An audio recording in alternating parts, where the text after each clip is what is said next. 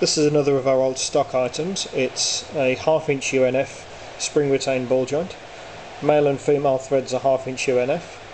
The ball pin and the body are case hardened and the grommet is neoprene which will keep the dirt out of the joint. The finish is zinc and yellow.